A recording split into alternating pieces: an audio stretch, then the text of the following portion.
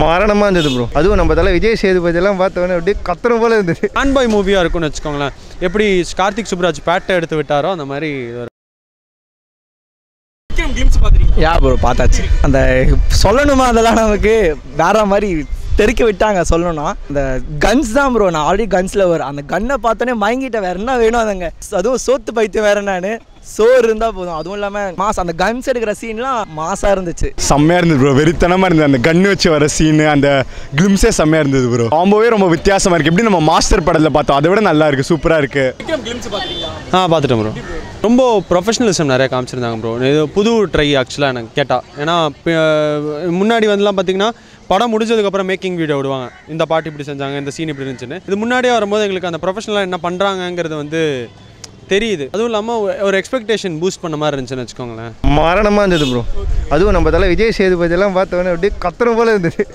அதான் எப்படி இருக்கும் தெரியல. ஸ்க்ரீனுக்கு தான் வெயிட் பண்ணுறோம் ஸ்க்ரீனுக்கு வந்தால் நமக்கு அந்த ஃபுல் எக்ஸ்பெக்டேஷன் தெரிஞ்சிடும் ஆக்சுவலி ஃபஹாடும் செம்மையாக நடிப்பாப்புல நம்ம தலை பற்றி க உலகநாயகன் பற்றி சொல்ல சொல்லவே தேவையில்ல. அடித்து பிரிச்சிடாப்புல விஜய் சேதுபதி அப்படி தான் மூணு பேர் ஒன்றா சேர்ந்தவர் நடிக்கிறாங்க.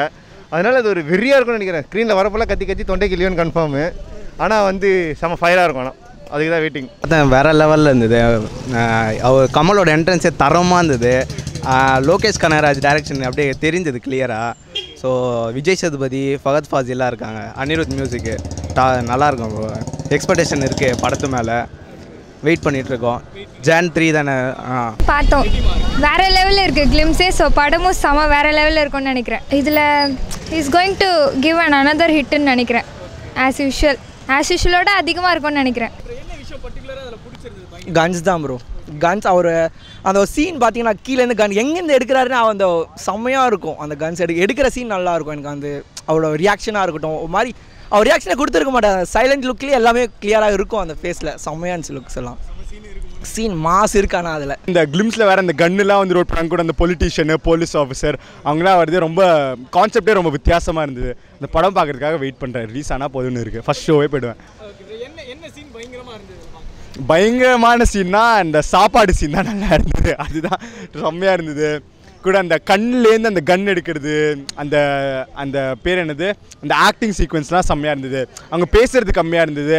அங்கே பேர் என்னது? இந்த இதுலேயே நிறைய காமிச்சிட்டாங்க. இந்த ஆக்ஷன்லேயே நிறைய காமிச்சிட்டாங்க. அந்த வீடியோகிராஃபி செம்மையாக இருந்தது. எனக்கு தெரிஞ்சு ஆக்சுவலாக மூணு பேருமே வந்து பயங்கரமான ஆக்டர்ஸ் கமல் ஆகட்டும் அந்த ஜென்ரேஷனில் கமலோட ஆக்டிங் இப்போ ரீசெண்டாக வந்த விஸ்வரூபம் டூ ஆகட்டும் அந்த படம் வரைக்கும் கமலோட ஆக்டிங் வந்து ஒரு சூப்பரான ஆக்டிங் ஃபகத் ஃபாசிலும் பயங்கரமாக நடிக்கக்கூடிய ஆள் விஜய் சேதுபதி பயங்கரமாக நடிக்கக்கூடிய ஆள். ஸோ மூணுமே பயங்கரமான ஆக்டிங் இருக்கும்போது ஒரு ஆக்டிங் ஃபீஸ்ட்டாக இருக்கும் படம் பார்க்கும்போது அப்படின்னு. ஒரு மாதிரி ரா இருந்தது ஆக்சுவலி நம்ம நிறைய படத்தில் பார்த்தா இந்த ரா ஃபைட்டிங் சீன்ஸ்லாம் வராது நோட் பண்ணியிருக்கீங்களா அதில் கொஞ்சம் ராவாக இருக்குது மூணு பேருமே ஃபேஸ் பண்ணிக்கிற சீன்லாம் வேறு லெவலில் இருக்கும்னு நம்புகிறேன் பாப்பா எப்படி இருக்குன்னு தெரில ஒரு பிரிச்சிருவாரு. இவர் கமல் எப்படி வச்சு எடுப்பார்னு நினைக்கிறீங்க? நம்ம கமலுக்கு ஒரு கமலோட ஃபேன் பாய் வேறு அவர். எனக்கு தெரிஞ்சு நம்ம கார்த்திக் சுப்ராஜ் தலைவரை வச்சு பேட்டையில் செஞ்ச மாதிரி இவரும் செய்வாருன்னு தான் நினைக்கிறேன் என்னன்னு தெரியல. நல்லதாக செஞ்சால் நல்லது. இல்லைன்னாப்பா என்ன பண்ணுறது தெரிலப்பா கன்று தான் தலை பா கன்று அந்த அந்த ஷூட்டிங் மு ரேப் ஆனது கூட போட்டாங்க. அதெல்லாம் தரமாக இருந்தது. வெயிட்டிங் தான். ஒரு டிஃப்ரெண்ட்டாக இருக்குது பார்க்கும்போது. ஃபகத் ஃபாசில் விஜய் சேதுபதி கமல். ஸோ அதனால் வேறு லெவலில் இருக்கும்னு நினைக்கிறேன். சூப்பராக இருக்கும். விஜய் சேதுபதி இருந்தாலே அது சூப்பராக தான் இருக்கும். I am big fan of பண்றீங்க?